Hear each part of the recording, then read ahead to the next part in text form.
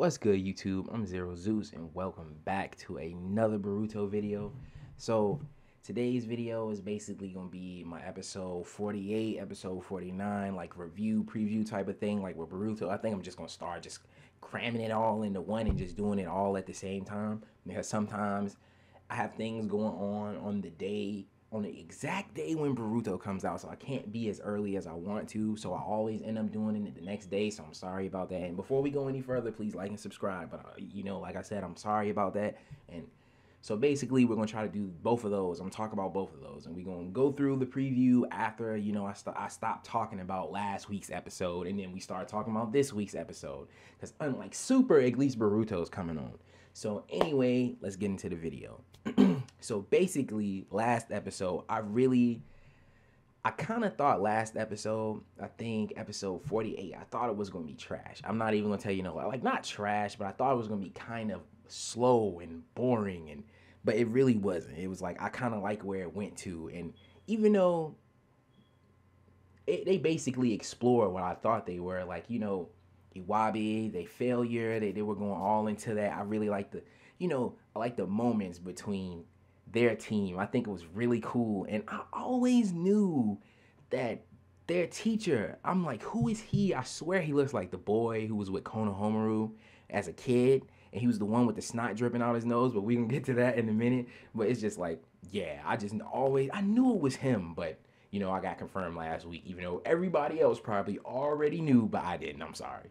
So anyway, basically, Iwabee he's feeling bad, and you know, he's feeling like you know guilty because he feels like he failed, basically. And so Naruto, I guess he notices this basically, and he's like, you know, this mission right here would be perfect for them. And I guess it was he was using them. They were they were going to use them in a commercial, basically like promoting being a shinobi. I think if I'm not if I'm not mistaken, and you know they were up for it. And basically when they were doing the actual shooting of the scenes and stuff, and they were taking pictures.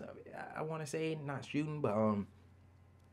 I think Udon. I think that's how you say his name. Udon. Udon. I think that's how you say his name he kind of got pissed at them a little bit because they were more focused on making a ninja look cool instead of showing that a ninja should be determined and you know like somebody you could rely in and it, it just went into this whole new place that i didn't think it was. At first i just thought their teacher were just being a dick just to be a dick. But then when i realized who he was and why he's acting that way because he used to be kind of like that. And he was a crybaby and stuff. And it's i just like how he can resonate with them. Like he understands having to repeat.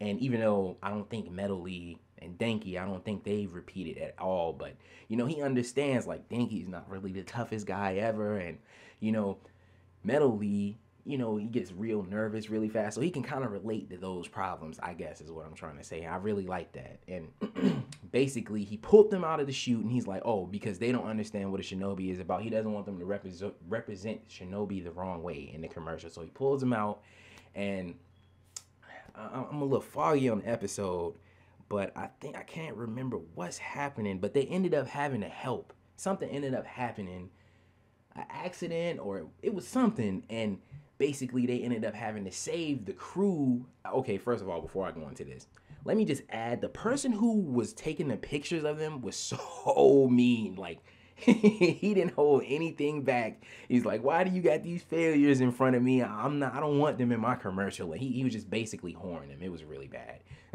I don't know why he did them like that, even though they looked pretty cool from what he, the way he described it was like, well, they look cool, but they failures. So uh, fuck them. Like it was kind of messed up, but anyway, he it, they end up having to save the same person who was talking shit about them, and it's really crazy how it came back full circle. I like that, and so basically, they still end up doing the commercial, and instead of them looking cool, they wanted it to be about the determination and never fail and never giving up and guts, and you know, I just eat that type of stuff up. I love that. So at the end of the episode, what was really, really funny, and I know everybody had to go into this because I'm about to go into this Naruto.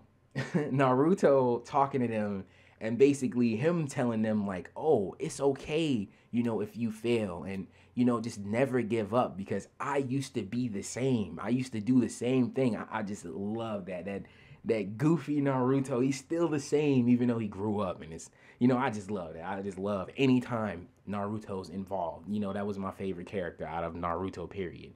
I, I you know, but, um, I think that about wraps it up for that. So now let's go into this preview. So that was last week's episode. This is this week's episode. So we gonna um watch the preview. This might not be that long because my video is already so many minutes already. Not so many minutes, but you know, by time I get finished and if I really get into like a real talkative mood on this subject, it'll be really long. But anyway, we're gonna watch this. So this is about Sumire and her team. I think it's Team 15 and it's um Hinata's little sister, um Hanabi. Hanabi is their leader. They, they, she's their teacher, I guess.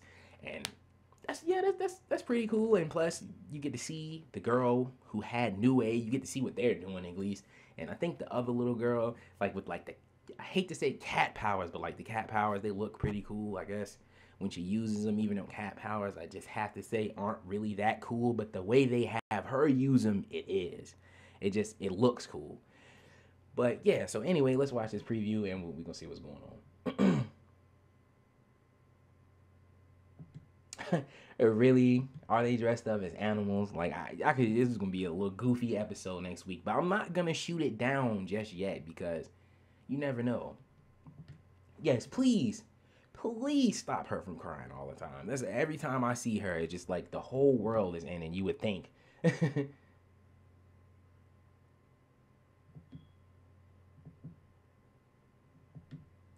and it'd be I don't know why when I seen that foot, it reminded me of that elephant type of monster thing that um I think it was Danzo Danzo used while he was fighting Sasuke, and it looked so doofy. Like I wonder that that foot just made me think of that. Where did she get a monkey from? Oh, okay, okay, okay, okay, okay.